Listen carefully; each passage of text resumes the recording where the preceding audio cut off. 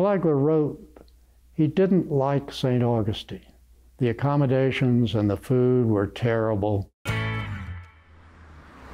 When visiting the historic part of downtown St. Augustine, the Castillo de San Marcos, the narrow streets, the architecture all reminds you of the Spanish influence on the city.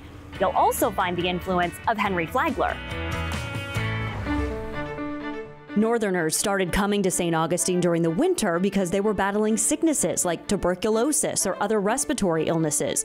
The sunshine, the warm weather, and the salty air seemed to offer relief for their symptoms. One of the wealthy men who visited St. Augustine was Henry Flagler. He brought his first wife, Mary, down to St. Augustine because she was ill. The Flaglers spent, well, not much time. In fact, just one day in St. Augustine. And Flagler wrote he didn't like St. Augustine. The accommodations and the food were terrible. Flagler didn't return to the city for almost a decade.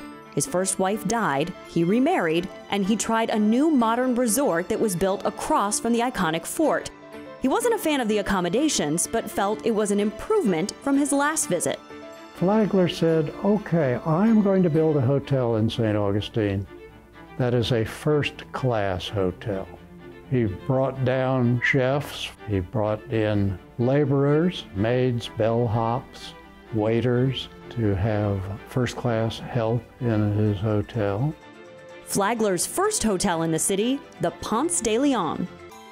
Now, Flagler, an enterprising man, realized that in order to make it easily accessible to people from the north, railroad transportation north needed to be improved. He purchased the railroad from Jacksonville to St. Augustine and improved the tracks. By the time the hotel opened, it only took 30 hours to travel between New York City and St. Augustine. But he didn't stop there. So, in addition to the Hotel Ponce de Leon, across the way he built the Hotel Alcazar. The Alcazar also had therapeutic baths, and then there was a large indoor swimming pool. Also, you could catch a carriage at the Alcazar and take a ride down to the south end of town where Henry Flagler had built a nine hole golf course. Flagler purchased a third hotel that was partially built, but which had stalled in construction due to financial issues. So we ended up with three hotels the Ponce de Leon, the Alcazar, and the Casa Monica. Today they are the focal point of the Flagler era in St. Augustine. Only one of them, the Casa Monica, is still a hotel today. The Ponce de Leon Hall is the centerpiece of Flagler College, which was established in 1968. It's recognized as a National Historic Landmark.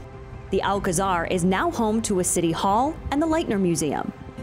St. Augustine eventually became the permanent residence for Henry Flagler, as well as his final resting spot.